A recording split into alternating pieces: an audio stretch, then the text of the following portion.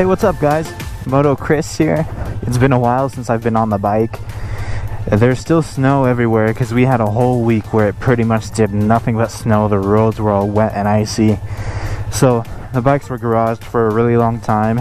And now we're going out for the ride. It's not the best day. It's a little bit windy. I think it's about like 45 or 50 degrees, but I came prepared. I got my boots, I got my knee pads, got my gloves, I got a t-shirt, and then under this jacket I have a flannel. So I feel alright right now. Granted, I'm not moving, so I'm not gonna feel any of the wind. But we'll see how it goes. I just couldn't help but going for a ride. I mean, the weather was nice enough today where it wasn't too cold. At least it was above 40s. And, well, we had some sunshine about like 10 minutes ago, but that's Colorado weather for you. Right now, I'm just waiting for the bike to warm up. And after that, we'll be on our way. And you guys could come along with me for my first ride and like two or three weeks on the R3. My first real ride because I rode a little bit with my brother when he was learning how to ride on his 600. Just up and down the street around the neighborhoods and stuff, but this time it's just gonna be me. Um, and I'm just gonna enjoy the ride, man. It's been so long since I've ridden. It actually puts an emotional toll on you. I don't really know how to explain it. It's like you're lacking something. When you're so used to doing something it's almost like you get addicted to it or you become reliant on it for either therapy or to clear your mind or just have fun and then all of a sudden you can't do it anymore. And you really feel the difference in your quality of life. At least that's what it seems like for me. Am i being dramatic? I don't know. I just love riding man. And i was watching a few guys ride on youtube just this morning and i was like you know what? I gotta get out there. But there's a point where you just gotta get outside ride your bike and clear your mind. Especially now since I've been working 12 hour days. This has been ridiculous, man. So finally we get to ride. And you know what? Enough blabbering. Let's go. I think the bike is warmed up enough for us to go a little bit around the block. First of all, I gotta turn my high beams on.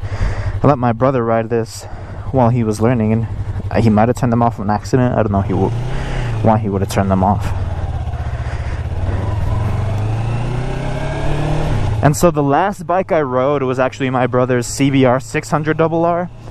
And I'm so so that thing has custom clutch, not a, a, custom clutch lever on it. You know, the ones that are adjustable and if you're a noob, you don't really know what they do, but you hear about them all the time. Yeah, well, he had some of those on there and he had them adjusted the previous owner to where you would barely pull out the clutch and it would start engaging. So now I'm used to that because this one doesn't engage almost until like the very end or the almost to like the very end or the middle of the clutch play. And wow this bike is so ridiculously easy to ride. Woo woo weather elements obstacles. Man it's all coming back to me now those leaves I was really afraid that I was gonna slip on those especially with the tires being cold. That's one thing that someone told me is that when you're a fair weather rider and you're riding on a cold day out like this your wheels might warm up maybe but the pavement is never going to get up to temperature so you've always got to be careful. And I've heard of people slipping on little piles of leaves like that on the road. Um, I didn't want that to be me on my first ride so um, I'm gonna relax a little bit I got a little bit excited because this I've been riding the CBR right? And the CBR feels like a tank compared to this. This is like a feather. It almost feels like I'm Harry Potter riding on one of those brooms. And that CBR feels like an actual motorcycle.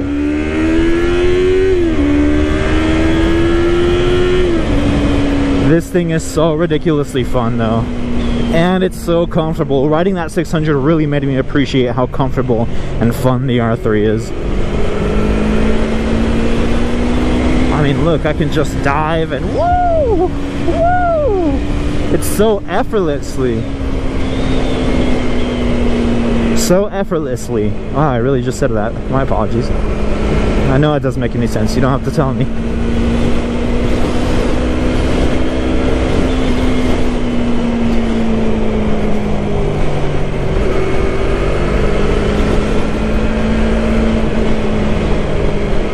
Feels so good to be out here, man.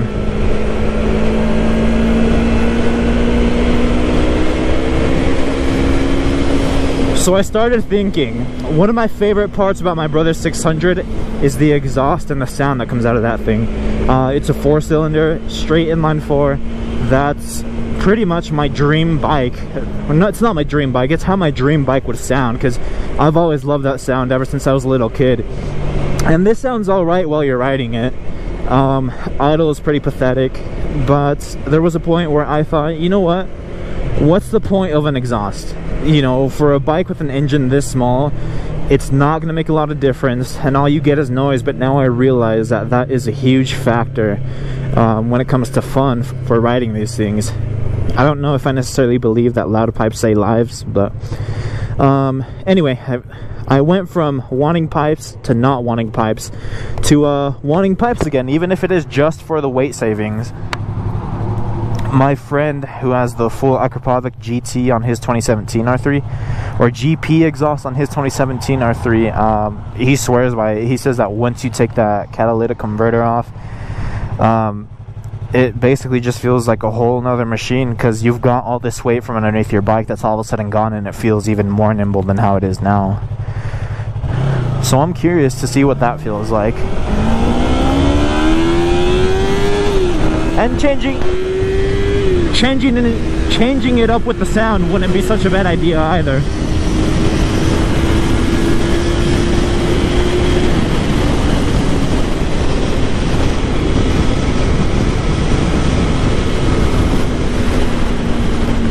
So I'm gonna go ahead and ride Riverdale Road, which is one of my favorite roads to ride that's nearby. Um, I'm just gonna take it easy. It's not really the kind of temperature where you want to ride hard I'm just gonna take it easy and enjoy the ride since I haven't been out here in a while.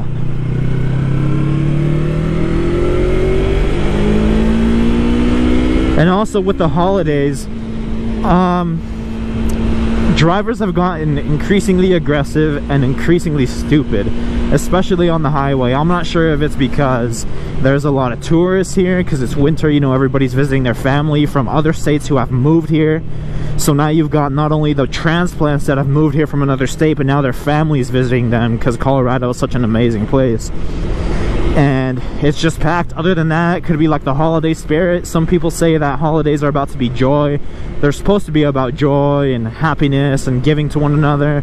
And others believe that uh, that was a cool bike. Others believe that it actually does the opposite, that people become increasingly selfish and um, inconsiderate. Kind of feels like that, L judging by the traffic patterns anyway. Who knows for sure, but that's what it feels like here in Colorado, and that's kind of discouraged me from doing a lot of riding. And then I'm working 12-hour shifts, so I go in at 6.30 in the morning, I leave about 6 o'clock, it's still dark, and then I leave at 6 p.m. in the 6 p.m. in the morning. I leave at 6 p.m.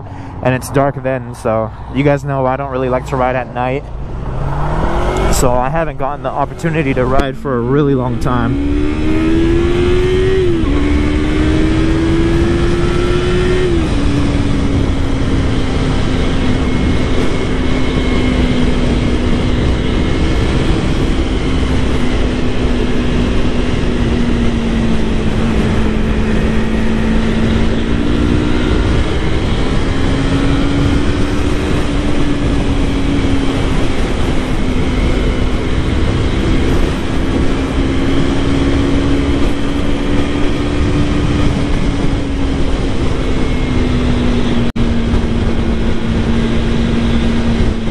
And you know what? I don't feel all that cold for how much wind there is. Um, I really don't feel any cold at all. I mean, yeah, my gear starts—it's starting to feel like it's getting cold, but these knee pads are really helping. I can feel the plastic getting cold, but that's behind all the pads.